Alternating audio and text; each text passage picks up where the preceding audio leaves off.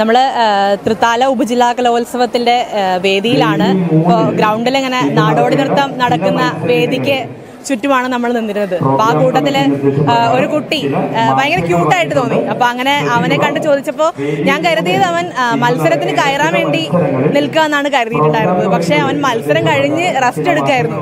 പക്ഷെ അവന്റെ ആ മത്സരം കഴിഞ്ഞിട്ടുള്ള ആവേശം ഇപ്പോഴും നിന്നിട്ടില്ല. നമ്മുടെ കൂടെ ഉള്ളത് മേഴത്തൂർ സ്കൂളിലെ യാദവ് കൃഷ്ണനാണ്. നാലാം ക്ലാസ് വിദ്യാർത്ഥി ആയിട്ടുള്ള യാദവ് കൃഷ്ണനാണ് നമ്മുടെ കൂടെ ഉള്ളത് യാദവ് എങ്ങനെയാ? മത്സരം കഴിഞ്ഞു. ഇപ്പൊ എങ്ങനെയാ? ഫസ്റ്റ് കിട്ടുമോ ആ ആഗ്രഹം ഉണ്ടല്ലേ നന്നായിട്ട് കളിച്ചോ? ആ എത്ര ദിവസമായി പഠിക്കുന്നു നാടോടി നൃത്തം?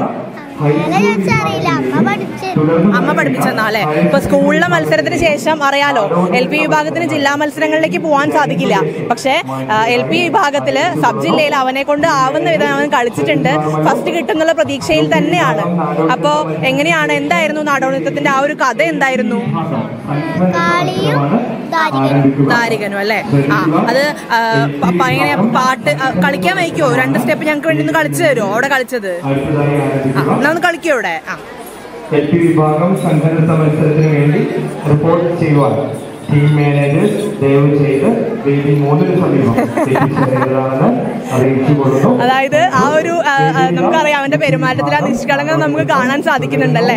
അതായത് അവന് നമ്മൾ ഷോർട്സ് എടുക്കുന്നുണ്ടെന്ന് പറഞ്ഞപ്പോ അവന്റെ മുഖത്തെ കൗതുകം അവൻ ആ ചേട്ടന്റെ മുഖത്തെ കൗതുകം കാണിക്കുന്നുണ്ട്. അതായത് നമ്മൾ അവനോട് പോസ് ചെയ്യേണ്ടതെന്നാണ് പറയുന്നത്. പക്ഷെ അവൻ അവന്റെ ആ ഒരു നിഷ്കളങ്കത കൊണ്ട് അറിയാണ്ട് ക്യാമറയിലേക്ക് നോക്കി പോവാണ്.